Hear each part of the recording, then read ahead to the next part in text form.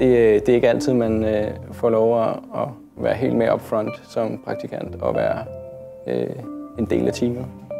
Jeg hedder Aske Emilong Madsen, jeg er 32 og læser IT Technology på KEA, og lige nu er jeg i praktik hos NNE. NNE er en konsulentvirksomhed, hvor øh, de producerer løsninger for farmaindustrien. Jeg sidder i innovationsafdelingen og laver softwareapplikationer. Jeg har siddet med både udviklingsprojekter inden for robotteknologi og for augmented reality.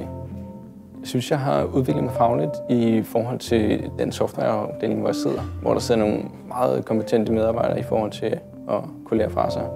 Der har bare været super engagement fra start af, og det har været med gode opgaver, øh, som har gradvist sådan sted i kompleksitet. Og i den tid, hvor jeg har været i virksomheden her, der kan man godt mærke, at der er virkelig meget viden i de medarbejdere, der er her.